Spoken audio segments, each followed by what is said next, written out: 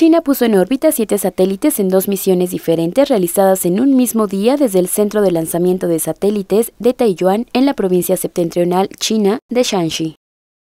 Seis de los aparatos fueron lanzados la tarde del sábado 7 de diciembre a bordo del cohete Huasio 1A, que entraron con éxito a la órbita planificada.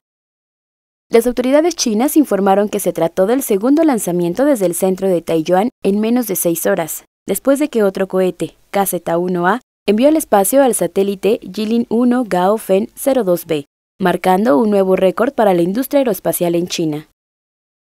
Fabricado de forma independiente por la compañía Changwon Satellite Technology, el satélite cuenta con capacidades ópticas de alta resolución, anchura amplia y transmisión de datos a alta velocidad.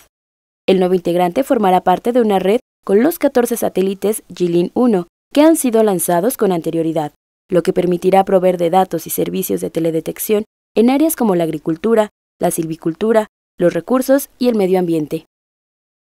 El cohete KZ-1A, desarrollado por una empresa subordinada a la Corporación de Ciencia e Industrias Aeroespaciales de China, es utilizado principalmente para lanzar microsatélites de órbita baja, además de que requiere de poco tiempo de preparación, utiliza un combustible sólido, de bajo costo y de alta fiabilidad.